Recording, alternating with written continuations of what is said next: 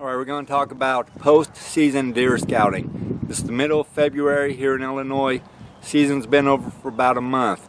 Get out, do your scouting. Vegetation hasn't grown up yet. Look for your trails. Rubs and scrapes are still easily noticeable. Bucks are dropping their antlers. Look for sheds. Keep your trail cameras out. Take notes of what you find. Go back, write down a piece of paper at home with what you know from last deer season combined with your post-season deer scouting, you're going to have more success next fall. All right, folks.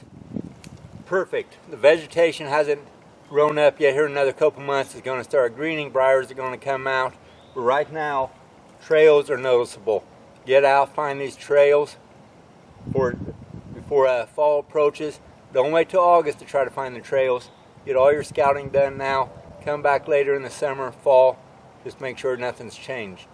But look, right here, this trail is easily noticeable. If you can, keep your trail cameras out year round. It's going to provide you valuable information. It's going to show you why bucks survive the season. It's going to show you their growth, antler growth throughout the year. They're just fun to check on.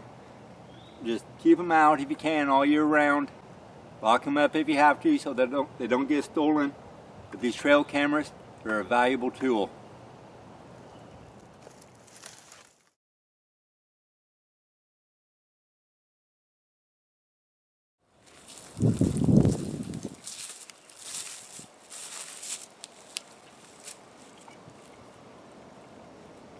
Here's a nice shed I just came upon. Get out, do some shed hunting, folks.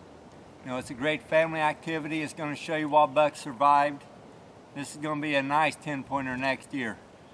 You know, where you find one shed, look closely, you're going to find the second.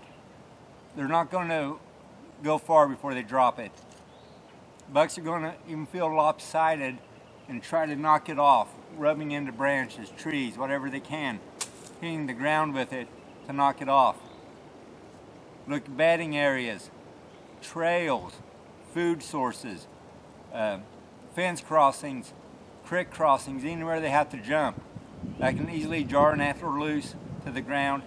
Get out, look for shed antlers, great activity for the whole family. Doesn't even require a license.